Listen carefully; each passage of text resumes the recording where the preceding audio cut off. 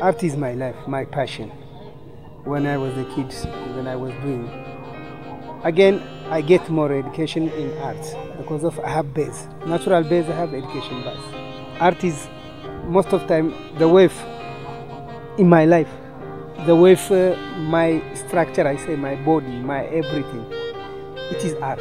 Art is human being. We are building by art. We have color. Color is art. We have shape. Shape is art what we write, writing even, it is art. We, we without depending art, we don't have any life. Maybe we'll be invisible. Because of art, you show us color. Because of, for example, you tell me, this short guy, maybe bold man, and where it's small jeans. Because of that, this is art. Because of, you see, structure. Yeah. That's why I, art is my life. Most of time, even when I am refugee now, most of time when I have stress, uh, sometimes what happened to me most of time my hunger i remove by drawing.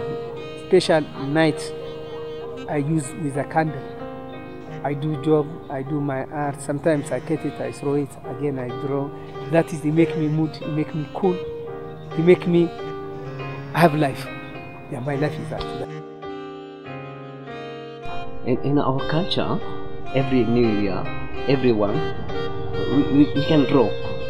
And then after I draw like a postcard there is no postcard in our country. Traditionally we'll draw and then we'll bring that artwork to your home at the present the uh, happy new year that's why every children we have a competition there in home.